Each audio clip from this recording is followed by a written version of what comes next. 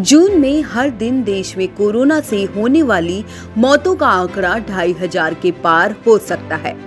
Lancet journal में प्रकाशित हुए एक अध्ययन में भारत को लेकर ये दावा किया गया है। एक अहम तथ्य ये है कि शोध से जुड़े एक वैज्ञानिक भारत सरकार की कोरोना टास्क फोर्स के सदस्य है। भारत में दूसरी कोरोना लहर के प्रबंधन के लिए ज़रूरी कदम। शीर्षक वाली इस रिपोर्ट में बताया गया है कि जल्द ही देश में हर दिन औसतन 1750 की मौत हो सकती है।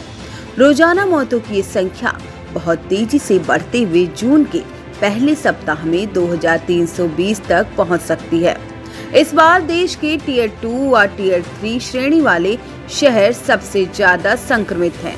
यानी 10 लाख तक की आबादी वाले शहरों में इस बार हाल ज़्यादा खराब है।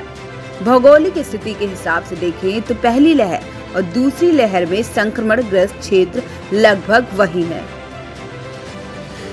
पहली लहर के दौरान 50 फ़ीसदी मामले 40 जिलों से आते थे, जो अब घटकर 20 ज़िले रह गए हैं। यानी कुछ जिलों में संक्रमण ज़्यादा कहर बरपा रहा है।